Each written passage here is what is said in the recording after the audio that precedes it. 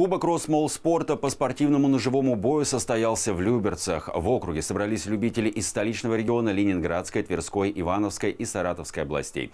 О том, как проходил открытый турнир, смотрите в нашем сюжете.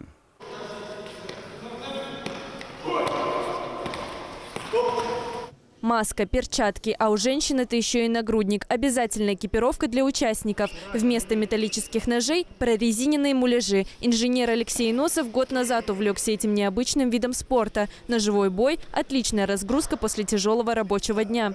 Любой спорт – это хорошо. Вот. Спорт для человека после 40 лет – это хорошо вдвойне, потому что есть масса других проблем, ну, как у всех там, по работе, там, в семье. Спорт – это вот э, такая зона комфорта. Вот. То есть в нее как бы можно уйти после трудного дня на работе. Участвовать в турнире по ножевому бою могут спортсмены старше 18 лет. За кубок между собой соревнуются разные клубы. В каждом из них есть свои правила и особенности. Для всех участников турнира установили единый регламент.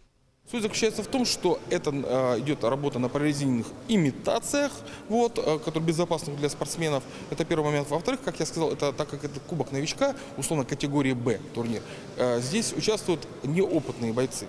Турнир по ножевому бою такого масштаба в Московской области проходит впервые. Вместе с Федерацией оружейных единоборств России председатель Люберецкого отделения Росмолспорта Сергей Агаджанян решил собрать представителей разных клубов в одном месте. Спортивный ножевой бой, как э, правило, отдельно не позиционируется. Он существует вместе с прикладными, другими, скажем так, армейскими дисциплинами. Ну, например, идет какой-то рукопашный бой, первый этап.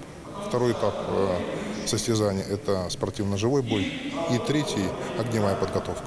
Победители турнира осенью представят Московскую область на чемпионате России по спортивному ножевому бою и смогут соревноваться в категории А с другими профессионалами. Айтат Чирагова, Михаил Давыдов, телеканал ЛРТ.